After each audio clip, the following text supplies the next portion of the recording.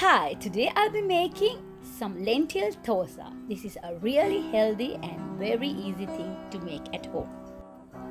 It's soft, yummy and really delicious.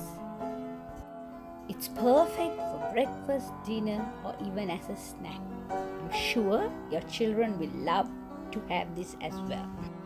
Just take one cup of all lentils. It doesn't matter what the lentil is, whatever lentils you have, just put one cup each. I'm adding one cup of rice, also a teaspoon of dill and soaking it. After it has been soaking for about one hour, now I'm going to grind it. So a piece of ginger, a little bit of cumin seeds and of course a little bit of sweet cumin and I'm going to grind all this with a little bit of curry leaves. This curry leaf and ginger gives a lovely flavor and helps digest the dosa better. Adding a little bit of water just to make the grinding process easier. When ground properly, this is the texture I'm looking at. So it's not very smooth, but it's ground really well. Now when I'm grinding the second batch, I'm adding a little bit of salt as well.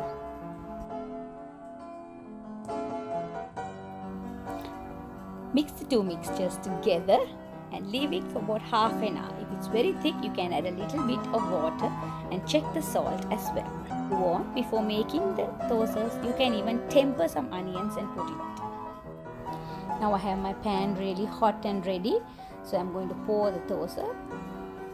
You can put a little bit of ghee in the pan if you like the dosa to be really crispy and of course super delicious. But today I'm not adding because I'm going slow on the oils. The healthier version is without the oil.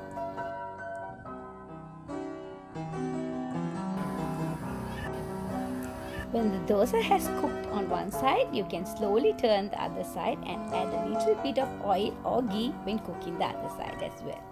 That gives a nice crispy and yummy taste.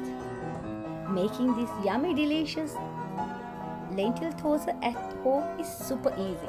Now it's time to serve the delicious dosas.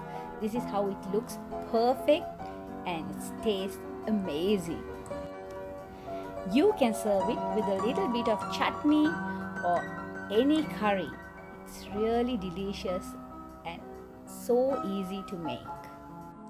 I have shared the recipe for coconut chutney before. I'm going to share that down below in the link as well if you want to try it out.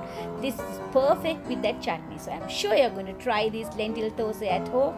Let me know how it goes. So until I meet you next, happy cooking and bye for now. Enjoy your dosas just like I did right now.